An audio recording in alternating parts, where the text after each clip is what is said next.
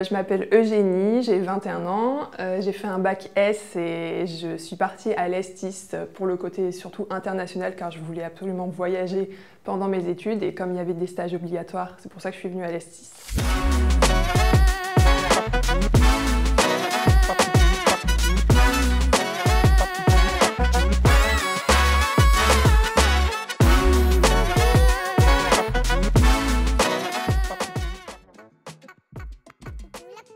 En première année, j'ai fait un stage de deux mois en Australie où euh, j'ai été dans différentes familles, m'occuper d'enfants, euh, m'occuper d'animaux aussi puisque je m'occupais des chevaux.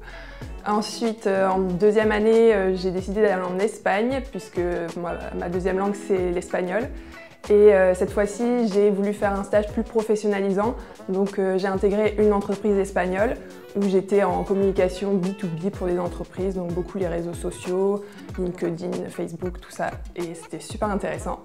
Euh, ensuite, euh, cette année, donc, je suis en stage en tant qu'assistante chef de produit achat chez Tishooks. C'est absolument un poste que je voulais euh, essayer une première fois en stage pour savoir si ça me plaisait et pourquoi pas l'année prochaine faire mon alternance là-dedans.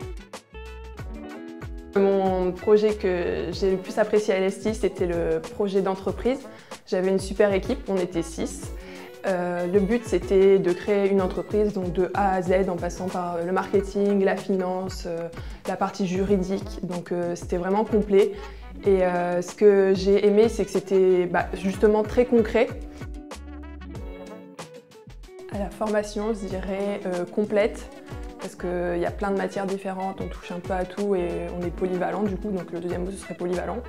Et le troisième mot ce serait partage car on soutient beaucoup dans la promo, euh, on peut toujours compter sur les autres, etc. Donc c'est important je pense. Bah, à la base déjà, Здравствуйте, как дела Donc ça veut dire euh, bonjour, comment ça va C'est la base pour un peu se présenter en russe.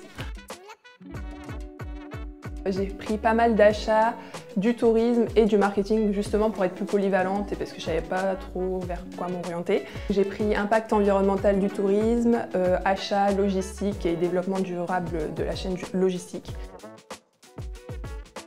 Je pense que c'est le fait qu'on soit une petite promo, donc forcément euh, on peut toujours compter les uns sur les autres et ça c'est vraiment euh, quelque chose d'important et même avec les professeurs on peut toujours leur envoyer des messages, euh, avoir leur soutien, poser des questions. Moi je le fais régulièrement, contacter des professeurs même que des années précédentes et c'est vraiment un bon soutien même après la formation. Les professeurs de russe, Olga et Natalia.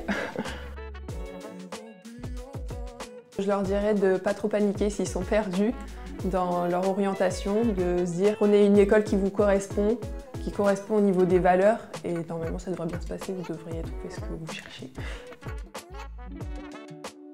C'est sûr que pendant 4 années à l'S6, comme on voyage beaucoup, on mûrit, on prend confiance en soi et euh, c'est sûr que si j'avais pas été à l'S6, peut-être que j'aurais pas autant envie de voyager, autant envie de bah, découvrir d'autres cultures, d'autres pays c'est quelque chose oui, que, que Estis m'a donné envie de faire.